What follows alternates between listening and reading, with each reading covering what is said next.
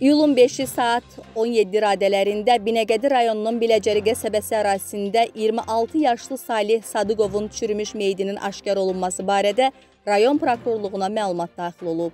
Binəqədi rayon prokurorluğundan Muğan TV-yə verilən məlumata görə, prokurorluq və polis əməkdaşlarının hadisə aşkar olunduqdan sonra isti izlər əsasında keçirdiyi istintaq əməliyyat tədbirləri nəticəsində zərər çəkmişin iyunun 25-i saat 1 radələrində 35 yaşlı Anar Cəfərov tərəfindən aralarında yaranmış mübahisə zamanı qəsdən öldürülməsini əsaslı şübhələr müəyyən edilib. Faktla bağlı Binəqədi rayon prokurorluğunda Cinayət Məcəlləsinin 120.1-ci maddəsi ilə cinayət işi başlanılıb.